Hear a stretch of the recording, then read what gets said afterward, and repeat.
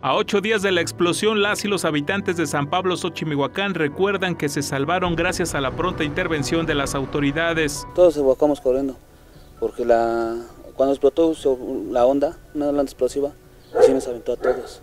¿Hasta dónde los aventó? De hecho acá, a nosotros nos agarró la segunda, la segunda explosión, agarró acá, y sí nos aventó. Ya mucha gente ya venía corriendo. 40% de las familias afectadas regresaron a sus casas en las inmediaciones de la zona cero, que estructuralmente se encuentran bien tras una revisión en 76 de ellas por parte de la Secretaría de Infraestructura. Serían como la una y media de la mañana y cuando salimos sí todo estaba, el gas estaba así, de este tamaño, todo era blanco, blanco, como neblina. Sí, y pues sí nos fuimos. Sobre la avenida del ferrocarril también las personas regresaron a sus viviendas para conocer el resultado de la explosión.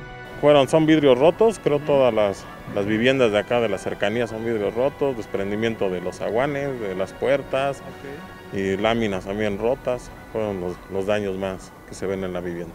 Así es como poco a poco las y los habitantes de esta junta auxiliar regresaron a pisar su patrimonio que construyeron durante años y que estuvieron a punto de perder.